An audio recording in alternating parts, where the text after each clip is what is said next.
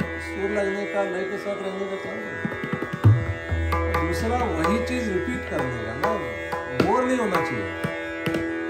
सो इसको करते करते करते करते करते